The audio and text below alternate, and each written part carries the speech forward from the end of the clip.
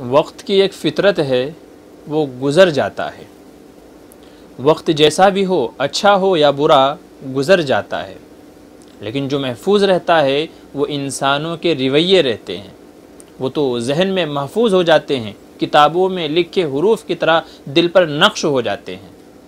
याद रखिए, अगर आप किसी के बुरे वक्त में कुछ अच्छा नहीं कर पाए तो बुरा भी मत कीजिए।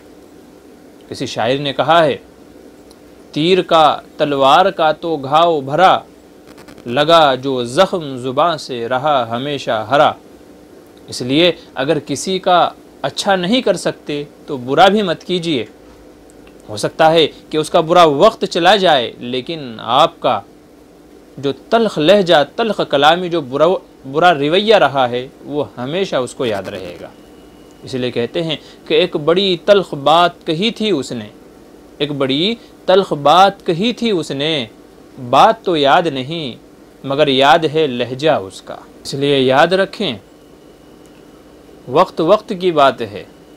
आज उसका बुरा वक्त है, हो सकता है आपका अच्छा वक्त हो, मगर वक्त ही तो है, और वक्त को बदलने में देर नहीं लगती।